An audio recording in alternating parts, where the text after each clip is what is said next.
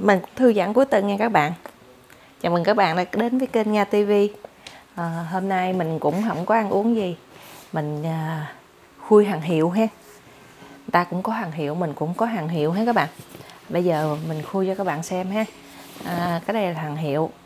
Hàng à, hiệu lề đường. Cái này là nga mua hiệu lề đường.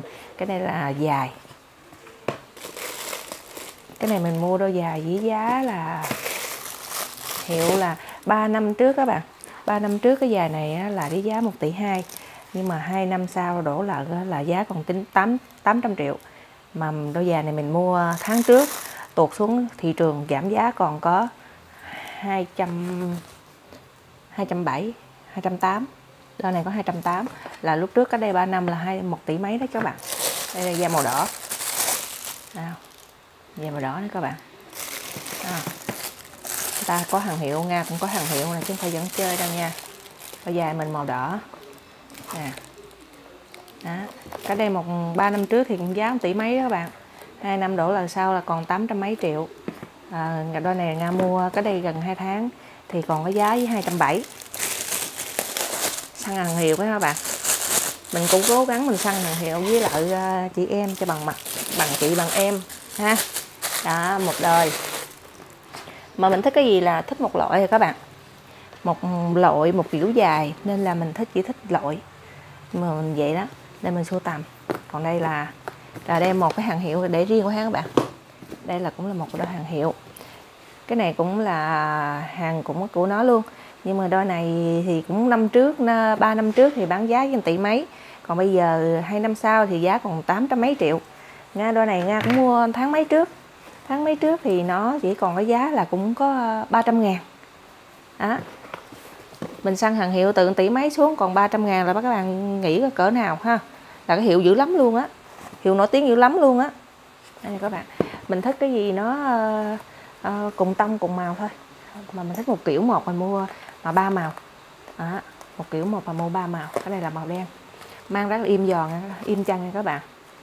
Đó, mang rất là im chân à, chỉ đơn giản vậy thôi. Một tỷ mấy. Còn 3 năm sau mua còn 300 ngàn.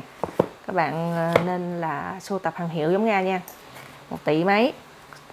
3 năm sau mua còn hai 300 ngàn. Đó.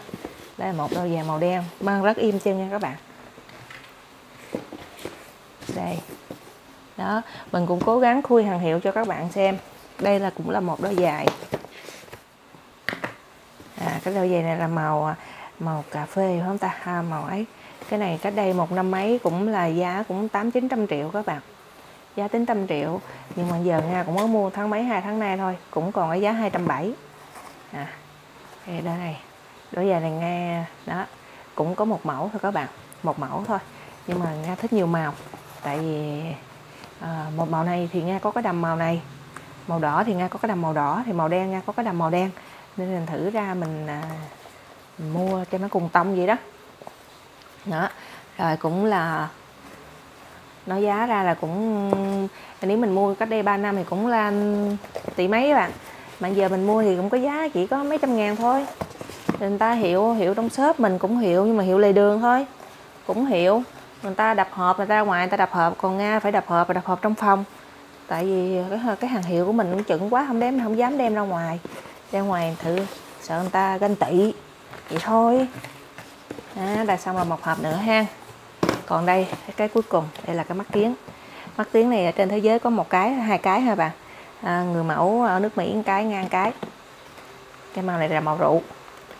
Cái này là màu rượu. Cái này bán cái giá là 570 triệu. 570 triệu Được các bạn? 570 triệu. Các bạn đẹp không? Đó bây giờ nga mua à, 570 triệu mà thế giới này có hai cái thôi nha uh, siêu mẫu của nước Mỹ một cái ngang cái. Uh, ở nước Mỹ nó bán là 35.000 đô. Thì uh, ra về tới Việt Nam Nga mua cái này là ba trăm rưỡi. Đó cũng là hàng hiệu đó các bạn. Rồi chương trình hàng hiệu của Nga đến đây là hết rồi. Cảm ơn các bạn đã theo dõi kênh của Nga nha. Vui vẻ cuối tuần thôi nha. Xin chào và hẹn gặp lại.